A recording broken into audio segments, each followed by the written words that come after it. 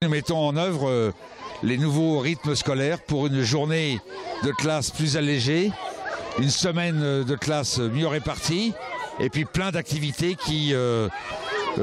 seront organisées par la ville avec 50 animateurs supplémentaires, 130 au total, avec des intervenants spécifiques pour occuper les temps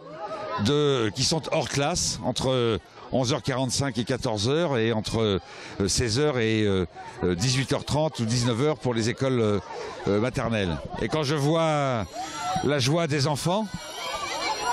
le fait qu'ils soient heureux de, de rentrer, bah, c'est la meilleure, euh, la meilleure réponse que l'on peut apporter